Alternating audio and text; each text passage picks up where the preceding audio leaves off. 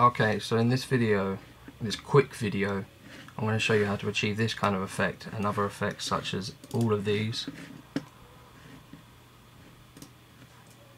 As you can see here, this is one of the final products, which started off as just a normal screenshot from Call of Duty, from this.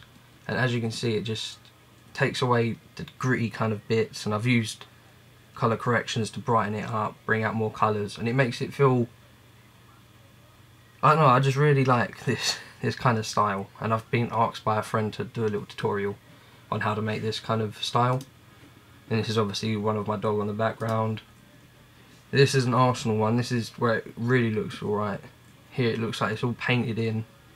I think this is probably one of the better ones that I've seen and done. And there's this one which I did quickly and that's my dog at the start. This is Walking Dead for any Walking Dead fans as well Right, anyway, let me show you how to make this now. Alright, so what you're going to do is you're going to take a picture to Photoshop.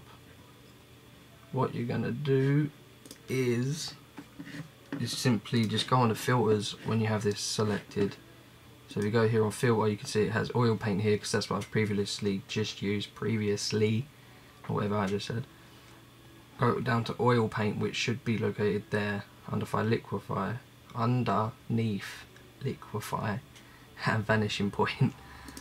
Click on oil paint. And you can go on here you can just mess about with the settings here. Let's bring this down. You'll eventually get used to this. I'm still not used to this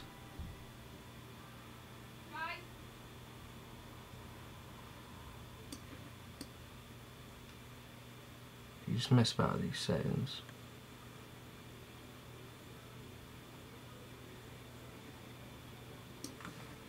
Uh, the detail.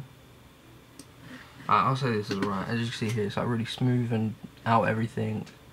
Gives it like a cartoony, mushy kind of feel. Um, yeah, and after you're happy with this, you can bring down the shine and whatever.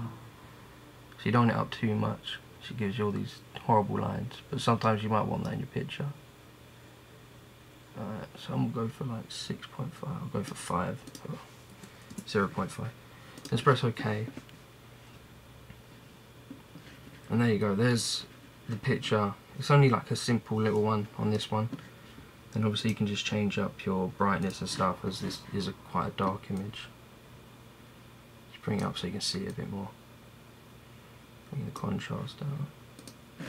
Let me get the original image up also so you can see the difference.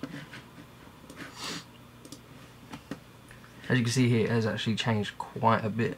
Well, when you look at it, you're like, oh, you, you can see the differences, but sometimes they're not as easy to spot. Like the smoothing, the smoothing parts around the eyes and the fur, and how it all looks.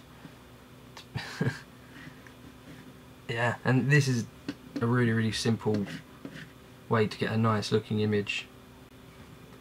Okay, and if this video helped, don't forget to rate, like and subscribe.